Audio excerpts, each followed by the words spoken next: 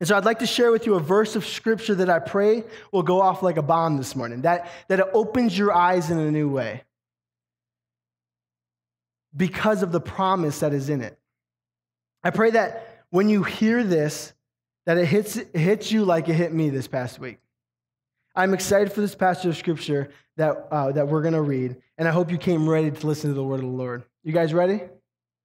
Amen. And so as you are flipping to it's in Second Chronicles chapter 20. And we're going to end up reading most of it, but I'm not going to start at the beginning. Not going to start at the beginning. Maybe you're turning to it with a page or, or uh, it's on your, you're using your phone. It's not, the, it's not the blue app with the F on it. No, we're not, reading, we're not on that app this morning right now. You can, you, you can check Facebook after service, the Bible app. Before I read, if you're currently facing a battle this morning, if you came to church and you're tired, you came to church and you're struggling with something, this verse is especially for you. And if you aren't facing a, a, a, a, trying struggle right, right this morning, it's okay. This verse can also be applied to your life. Because if you're in a good place, which I hope you are, the devil knows that. And he's looking for any, uh, any way to, to throw you off track of your walk with the Lord. And so today's message can, you can find freedom, or you can learn from when an attack comes how to find freedom. So don't check out. Here we go. Second Chronicles chapter 20. We're going to start in verse 17. You will not have to fight this battle. You will not have to fight this battle. Look to your neighbor and say, Not this one. Come on. We awake this morning, look to your neighbor and say, Not this one.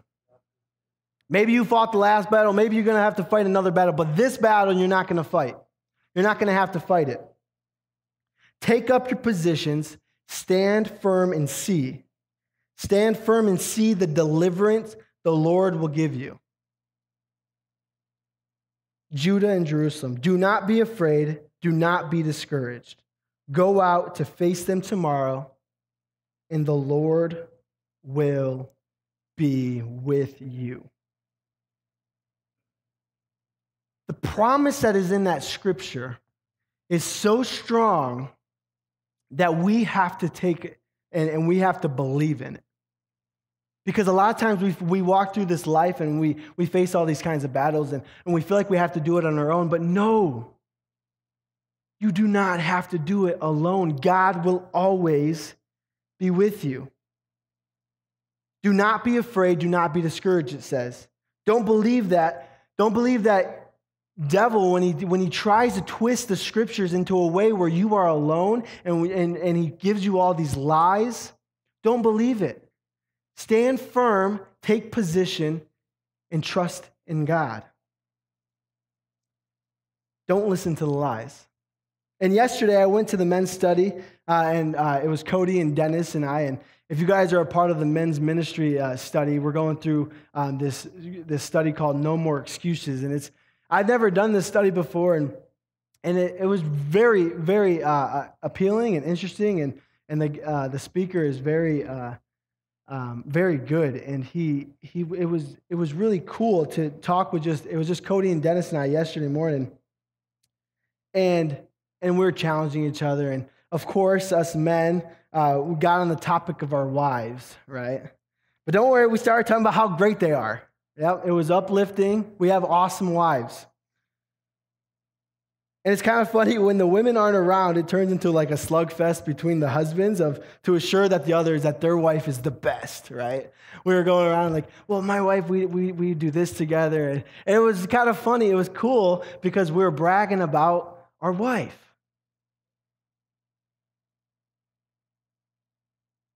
And that's a good thing, right? That's a good thing. And now I know that I've only been married for three months and seven days, but who's counting? And there's no way that I could know everything about marriage, but really, and I'm not claiming to, but really, who does know everything about marriage, right? But I feel like our, our marriage, Kayla and I marriage, is strong mostly because of who I chose. I mean, have you met her? Kayla is a beautiful, strong, woman, and she is an amazing partner. She is. and she's my better half. And before we got married, I remember asking everyone for advice, right? That's what we did. We were like, oh man, we're, we're going into marriage. And, and uh, I'd always find the people, like the, the older people who've like been married forever. And um, I'm always like, oh, that would be cool. Get to be married for 70 years, you know?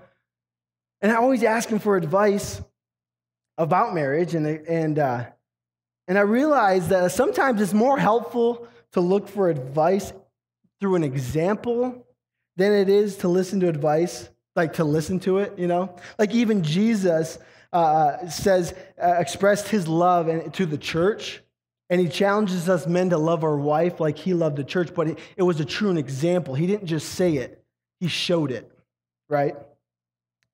And I remember asking so many different couples um, for advice, and you, you, you get the same old things, right? Happy wife, happy life, which is true. It's true. If, if she's happy, I'm happy, right? Or, or you get, uh, but, but, which isn't bad advice, but ladies, come on, let, let the men decide the restaurant every, every once in a while and make them feel good, make them feel better. Can I get an amen, guys? Come on. But I would question some of the things that some of the people would say because some of the things they were saying is kind of scary, you know? You got to be careful who you ask for advice from. Amen? Be careful who you ask. But some, some of the advice sounds good, like choose your battles. Great advice. Choose your battles. That's one advice that, that, that I always got. And uh, don't fight over everything, which is great advice. You have to decide in any relationship, not just marriage. I know I'm talking about marriage because I love my wife and uh, we just got married, so I got to brag about a little bit.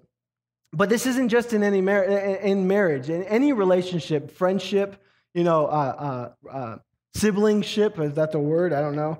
But you have to decide to choose your battles.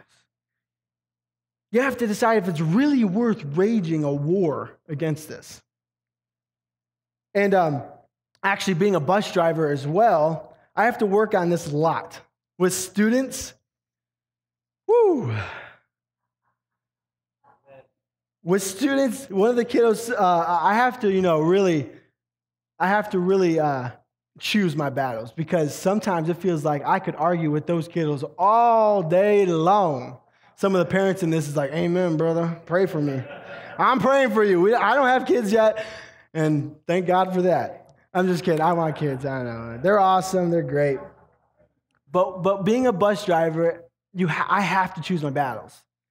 You know. And uh, I was driving with. I was taking um, a school's. Uh, where were we going? Soccer team to Sozo, and um, and we're on our way back, and the kids had just won, and they were kind of saying this thing uh, inappropriate. Uh, they're saying this something kind of inappropriate, but they're.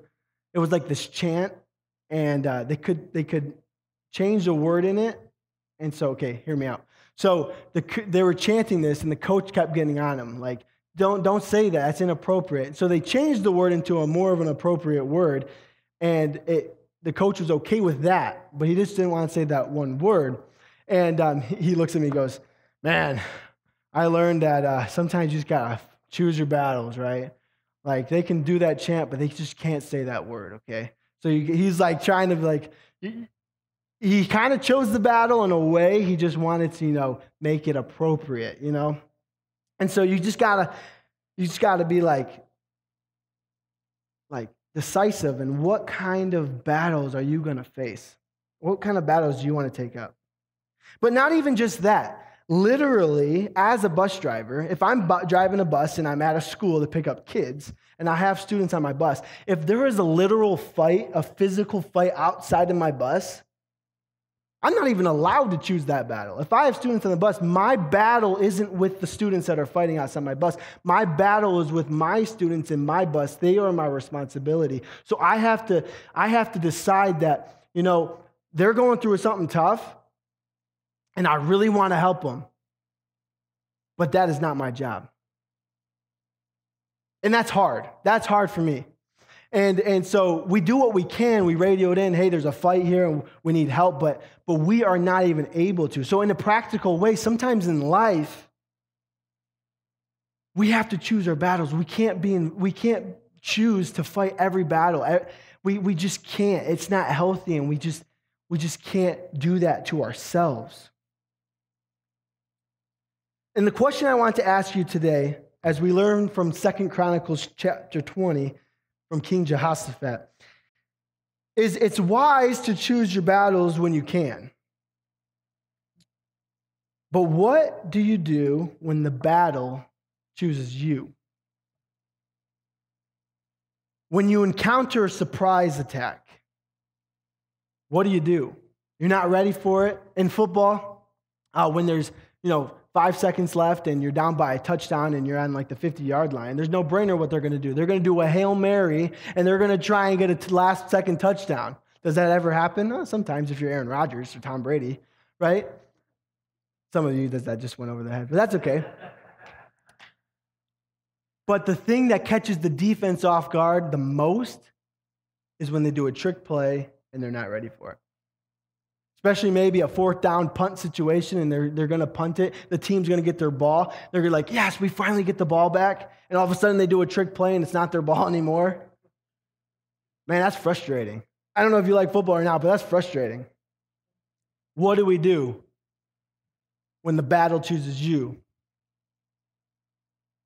My title today's message is Defending the Surprise Attack. Defending the surprise attack. This is what happens to Jehoshaphat in Second Chronicles 20, who was told one morning in verse 1.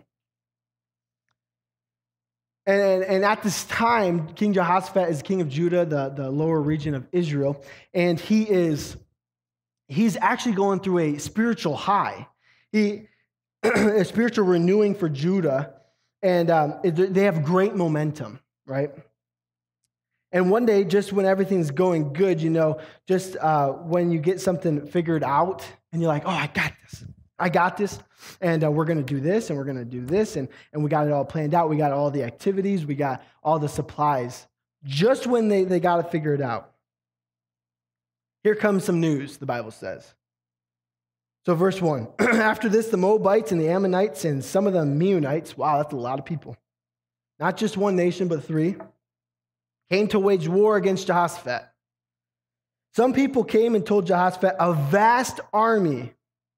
Man, can you imagine being that person, being Jehoshaphat's uh, servant, and um, having to tell your boss, your king, that, man, a lot of people are coming to attack. He's like, no, you, I'm gonna, tell, you know, you tell him. No, I like, I can just imagine them like like fighting each other. I don't want to tell him that uh, we're going through something good. We're, we're, we, we got a spiritual high and we're, we're praising the Lord like none other. And I don't want to tell him the bad news. It's like when someone, the, when someone asks you, do you want the good news or the bad news first? Mm, maybe the bad news first so that I can end in a victory, right? Well, newsflash, the Bible, I read it. We win. Jesus wins, okay? And so, verse 2 some people came and told Jehoshaphat, A vast army is coming against you from Edom, from the other side of the Dead Sea. Okay, so they didn't take the, the, the direct route, they went around the Dead Sea. Yeah, they're sneaking up, and from behind, they're going around the Dead Sea and then coming back up to attack them. And, um, and Jehoshaphat, they're, they're like really close. Like some study says like they were like 25 miles. They were a day's march out. So Jehoshaphat has no time to, to gather up an army, especially an army big enough for three against three nations. He just doesn't have time to do that. He doesn't, he, it's not physically possible. Verse 3 Alarmed, Jehoshaphat resolved to inquire of the Lord, and he proclaimed a fast for all Judah. Have you ever gotten that like that phone call or that text message that that um, that indicated that you had a decision to make or or something that was happening and it was happening now? Like I remember um, a few weeks, uh, maybe a couple months ago, my dad called me and uh, he he said, um, "Hey Grant," or he texted me, Grant, I don't know. He said, "Hey, Grandma's in the hospital, and she's okay, thank God." But man, me and my grandma were tight. We're like best friends. And um, And so the minute I read that or heard that, I don't remember if it was a text or, or a call first, whew, I was like, I took a step back. I was like, Grandma's in the hospital. Grandma's in the hospital. And I just, I was sitting on the bed with, uh, with Kayla and I just broke down crying and, and Kayla just hugs and she's like, it's going to be okay. But, but what if it's not going to be okay? You know, all these questions, all these, these scenarios are running through your brain about what's going to happen and how it's going to happen and, and, and this and that and that. And it's scary.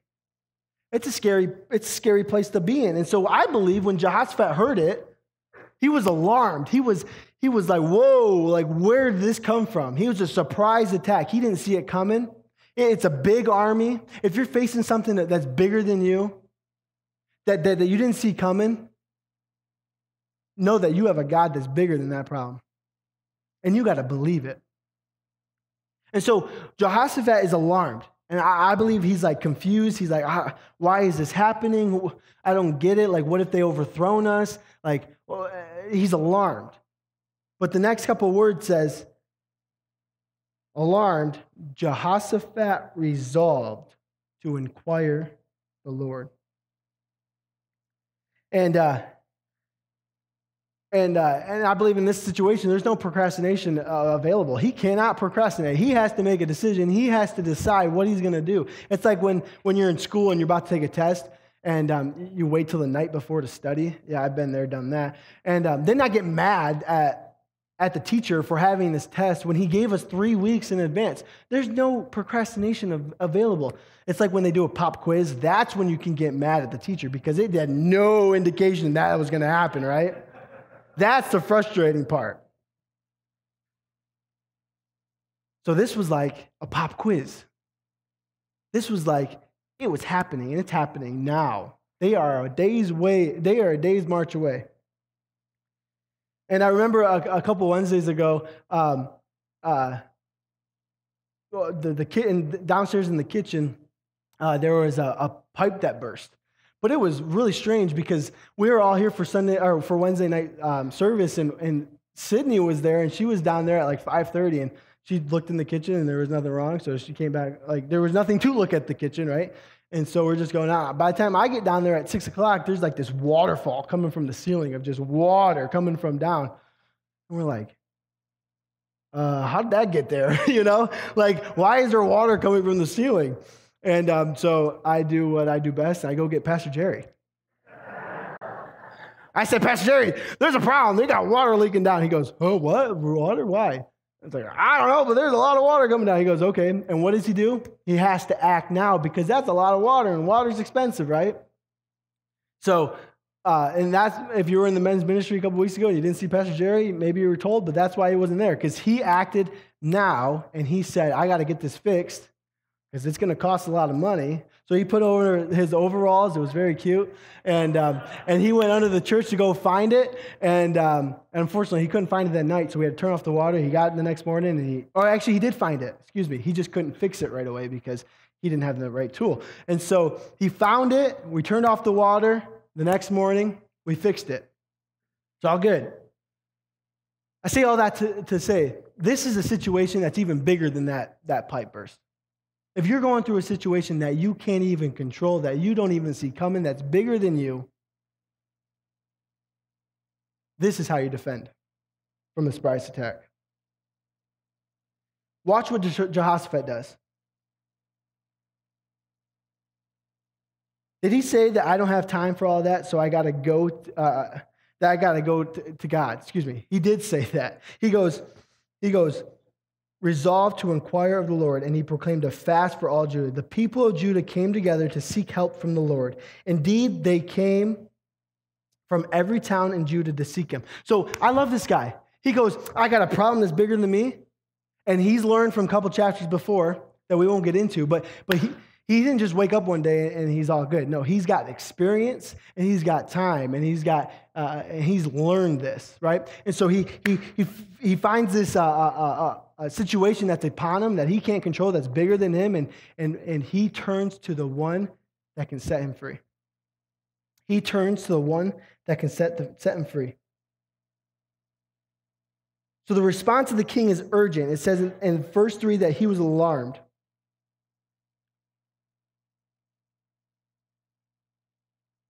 And here's the thing after an unexpected battle came, Jehoshaphat went to God. When you are experiencing a, a, a battle that you can't control, you have to seek the Lord. You have to seek the Lord. The Bible says in the, in the, in the spirit of heaviness, right? We put on the garment of praise. We put on the garment of praise. When we're going through hard times that we can't control, we have to go to God. Because listen, you, you got to be very careful that you don't expend all of your energy fighting battles that are not yours. You have to. And then you don't have any energy left for the battles that are yours. And now you've gotten so tired fighting battles that, you don't, that don't even belong to you, engaging in arguments that don't even have any strength, that, that, that don't have any meaning. You're engaging in arguments that don't have any meaning, that you don't have any strength to engage in your family at home, at your work. You don't have any strength left. I'm not trying to run everything in, in Yakima. I'm not even trying to run everything here at church. I can't. I can't. If I try to run everything, I, am gonna be ineffective. I'm gonna, I'm gonna mess up. I'm gonna, I'm gonna miss some things, which I do anyways. Come on. I'm not trying to run everything in, in, in church and in Yakima and, and ministry. I'm just trying to run my house and I got my hands full. I got a wife who's depending on me.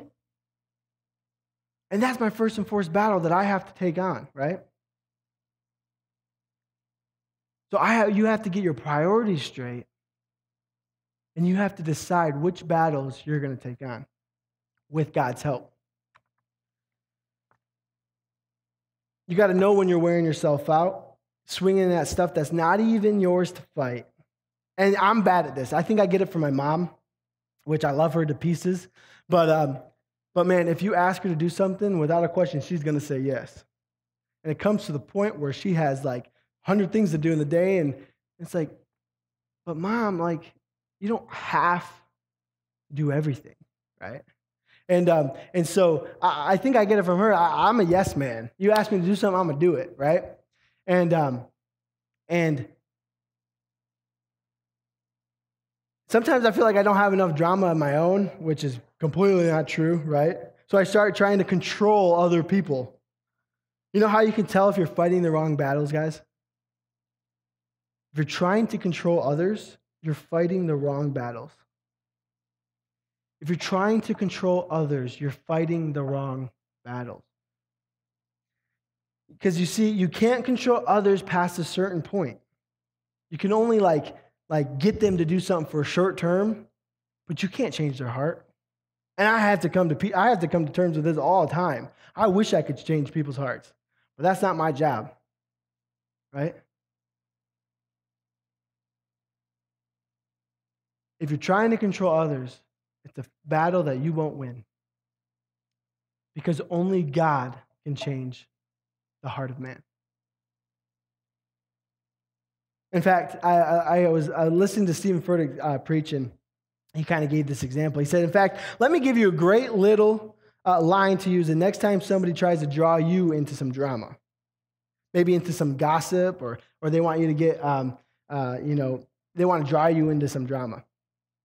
I heard this again from Steven Furtick, and they'll, they'll usually say, what do you think about so and so? We heard about so and so, or or what do you think about that ministry, or what do you think about that church, or or what do you, what do you think? Like like let, like let me know. And, and Steven Furtick says this. He says when someone asks you something like that, like what do you think about about this? Here's what you have to say. I don't.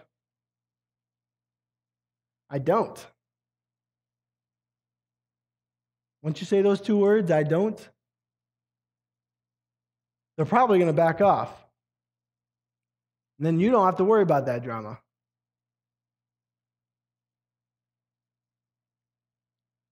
And so Jehoshaphat didn't run around looking at what other people are doing. He went to seek the Lord. He went to inquire of the Lord. And I mean, uh, Ammon, Moab, and the Edomites, that's three of them. I mean, he, I, can, I can see him thinking, I can fight one of them, God, but all three of them, I don't stand a chance.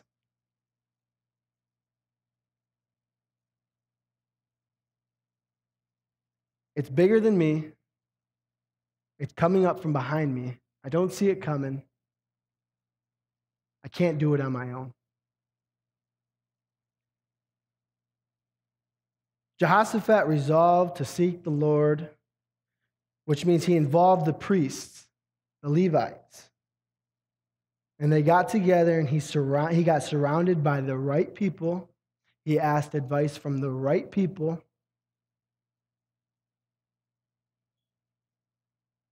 He's not asking all his friends. He's not asking every single one of them what they think about it. This time, he's not looking at social media for the answers. He's not looking at other uh, the worldly things to influence his decisions. It's this time he's going to the right place because he does not have a plan. He doesn't know what to do. He's got a situation that he can't control that's bigger than him, and the only thing he can do is pray. And if you're facing a battle that is bigger than you, and it snuck up from behind you, and we're going we're, we're gonna jump into Chronicles 20, verse 3. I'm going to repeat this to you because you got to know what to do. We learn from Jehoshaphat, he resolved to inquire of the Lord, and he prays. He goes, Lord, the, this is verse 5, excuse me, 6. Lord, the God of our ancestors, you are not the God, or are you not the God who is in heaven? You rule over all the kingdoms of the nations. Power and might are in your hand, and no one can withstand you. Our God, did you not drive out the in, in, inhabitants of this land before your people Israel and give it forever to the descendants of Abraham, your friend. Do you see what he's doing here? He doesn't start off the prayer, oh God, I, you're giving me this too, this too big of a problem, I can't do anything about it. No, he, he doesn't start there. He doesn't start at his problem. He starts at how great his God is, how big his God is. He starts his prayer by declaring how much bigger his God is.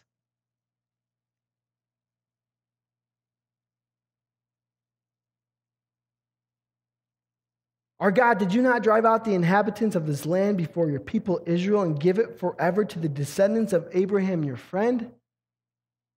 God, you already drove us out here. We learned from Moses, who drove the, eh, God got the Israelites out of the captivity in Egypt. He's been doing this for years. He's helped you in other problems. We got to learn from our experiences. Verse 9. Excuse me, verse 8. Wow. They lived in it and have built in it a sanctuary for your name, saying, If calamity uh, comes upon us, whether the sword of the judgment or plague or famine, we will stand in your presence before this temple that bears your name and will cry out to you in our distress, and you will hear us and save us. But now, here are men from Ammon, Moab, and Mount Seir, whose territory you would not allow Israel to invade when they came from Egypt. So they turned away from them and did not destroy them. So, in other words, we listened to your commands of not to destroy them. Right? You told us not, you told us to stay away from them. We listened to you. Why are they coming to attack us? In other words, see how they are repaying us by coming to drive us out of the possession you gave us as an inheritance? Our God, will you not judge them? For we have no power to face, face this vast army that is attacking us. We do not know what to do, but our eyes are on you. 13. All the men of Judah with their wives and children and little ones stood there before the Lord. Then the Spirit of the Lord came on Jahaziel, son of Zechariah, the son of Benaniah, the son of Jael, and the son of Mattaniah, a Levite and descendant of Asaph, as he stood in the assembly. So Jehoshaphat starts his prayer and he, and he starts praising God. And, and then he, he starts kind of kind of questioning, like he asks for help in his problem. He goes, We listen to you, God. You're a great, powerful God. We listen to you. And now they're coming to try and attack us. We don't know why. And the Spirit Lord came to somebody else, Jahaziel, son of Zechariah, and he came to Jehoshaphat. And he said, Listen, King Jehoshaphat, and all who live in Judah and Jerusalem. This is what the Lord says to you Do not be afraid. Do not be discouraged because of this vast army, for the battle is not yours, but God's. I believe there's somebody in here that needs to know the battle you are facing is not yours, it's God's. The battle you are facing is not yours, it's God's. It's not about your power. It's not about your power, it's about your position.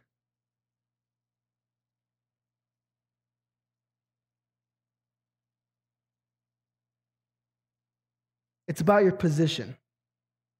We learn from Jehoshaphat and this and the, the prophet uh, Jehaziel. I'm sorry, my pronunciation, it's hard words, but yeah. Caitlin's probably like, eh, that's not how you say it, but try my best. It's about your position. They stood up and said, and said what he said. He says, Do not be afraid or discouraged because of this vast army, for the battle is not yours, but God's. Sometimes it takes more faith to just let God be God and be great in your situation because, it, because if you ma- manipulate it, you're going to mess it up. Sometimes it takes more faith to step back and say, okay, God, it's, it's not my problem. It's not my, this is bigger than me. I can't do it on my own. It takes more faith because then it feels like you're giving up. But you're not giving up because you're giving, you're giving the power to God. You're giving it back to God and you're saying, God, you are bigger than this and you will see me through this. And uh, as the worship team comes up, I want to challenge you to th- this week if you are going through something, I know, I know it might sound repetitive, but it's just it's it's dwelling in my spirit. I feel like somebody here just can't handle something. It's too big for you. That's okay. That's okay. Because your problem is not bigger than your God. Your problem is not bigger than your God. And I'm all over in my notes. But here's what you got to do you have to fight the battle with the right strategy, right? If you fight with the wrong strategy, it won't work. And we learn this from Jehoshaphat. Watch this. Verse number 16. Tomorrow march down against them. So he's got his orders, okay? Tomorrow march down against them. They will be climbing they will be climbing up by the pass of Ziz, and you will find them at the end of the gorge in the desert of Jeruel. You will not have to fight this battle. Here comes 17, okay? You do not have to fight this battle. Take up your position, stand firm, and see the deliverance the Lord will give you. Judah and Jerusalem. Do not be afraid, do not be discouraged. Go out to go out to face him tomorrow and the Lord will be with you. Here we go. Jehoshaphat bowed down with his face to the ground and all the people of Judah and Jerusalem fell down in worship before the Lord. Then some Levites from the Kohathites and Korathites excuse me, stood up and praised the Lord, the God of Israel, with a very loud voice. So they marched down with the tiny little ba- uh, army they got against this army three times the size of them. They took their marching orders, they marched down. And it's kind of ironic because if they would have fought that battle, they would have lost. If they would have used the wrong strategy to fight that battle, it wouldn't have worked.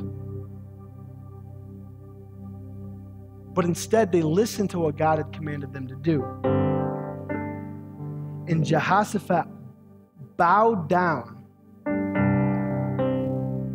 with his face to the ground, and all the people of Judah and Jerusalem fell down and worshiped before the Lord. Then some Levites stood up and praised the Lord, the God of Israel, with a very loud voice. It kind of reminds me of, of Jericho, right? The, the, the walls of Jericho when Joshua marched around. They didn't have to fight. But no, God gave them marching orders. God told them what they do because they went to the Lord. They asked the Lord when they were when they when they faced a battle that was bigger than them.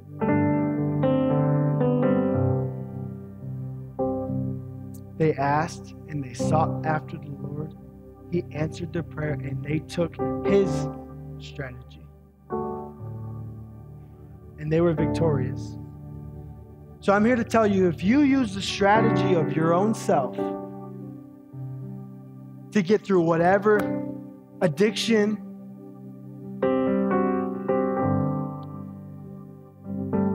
divorce, struggle, pain. If you use the strategy of your own self to get through that problem that's bigger than you, that you don't see coming, it's not going to work.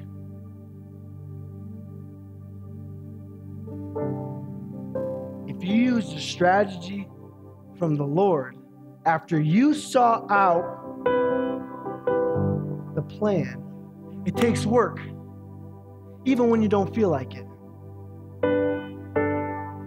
Even when you're so busy that you have no time for it.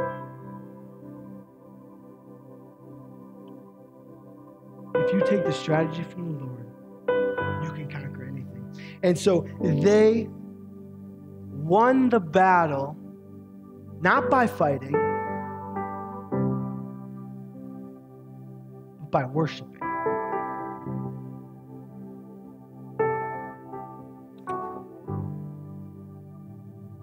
And I wonder if there are any praisers in the room today. Praisers from the tribe of Judah who are willing to use gratitude as a strategy for the battle that I'm in and magnify the Lord in the middle of the battle. And as they began to sing and praise, the Lord set ambushes against their enemies, and they were defeated by the angel armies of God. God is going to fight what you can't see coming.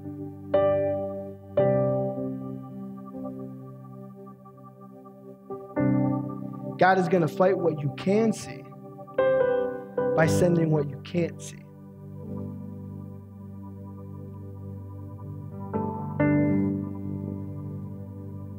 God, I need you. You're bigger than this problem. You're bigger than it. We're going to go into a song, and the chorus goes like this Holy, there is no one like you. We are praising the Lord as we leave service tonight. And it goes along the last couple of weeks when we're building our house, right? Where we're opening the doors and we're allowing God into all of our heart, not just the, the base level. Because let me tell you, when you're in the midst of a battle, it gets pretty hard to see where God is, especially if He's only at base level. But when you put all your faith in the Lord and you trust Him fully,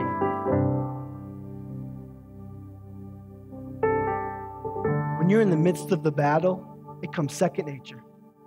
When you're alarmed and you're scared and you don't know what to do, like Jehoshaphat here, you're like, oh no, I've been through this. I'm, I'm familiar with this. I know what this feels like. I'm turning to the Lord. I'm reading what the word of the Lord says. I am praying to Him. I am worshiping Him. I'm getting through this battle, not by fighting, but by listening to His strategy. Not to say that you'll never have to fight. Some battles, obviously, we learn from the Bible, some battles involve fighting. But it's not always as simple as that. We can't put it into our own hands. We have to give.